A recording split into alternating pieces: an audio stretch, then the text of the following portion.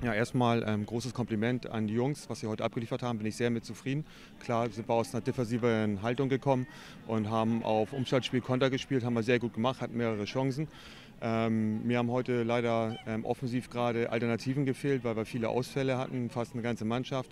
Ähm, von daher bin ich sehr, sehr zufrieden. Für uns war es eine super Einheit. Ich habe immer gesagt, ähm, Pokalspiel ist für uns eine Trainingseinheit und ähm, das haben die Jungs gerade in der Defensivarbeit sehr gut gemacht. Wir haben natürlich Glück gehabt bei der einen oder anderen Chance, die Ostdorf ausgelassen hat, aber wir hätten auch unsere drei, vier machen können, wenn nicht sogar zwei müssen.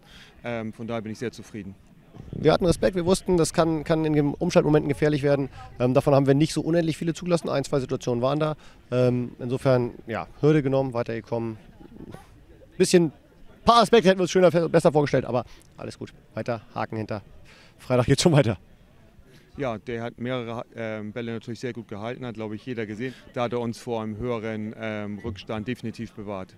Das hat er sehr gut gemacht. Äh, mit dem wünschen bin ich immer vorsichtig, weil am Ende muss man sowieso so spielen, wie es kommt. Insofern ähm, ist, es, ist, es, mir egal. Wenn wir, wenn wir nicht auf dem Hartplatz müssen, bin ich ganz froh. Vielen Dank fürs Zuschauen. Wenn euch dieses Video gefallen hat, schenkt uns einen Like und kommentiert dieses Video. Um kein Video mehr zu verpassen, abonniert unseren Kanal oder ladet euch einfach die KickTV App herunter. Vielen Dank fürs Zuschauen.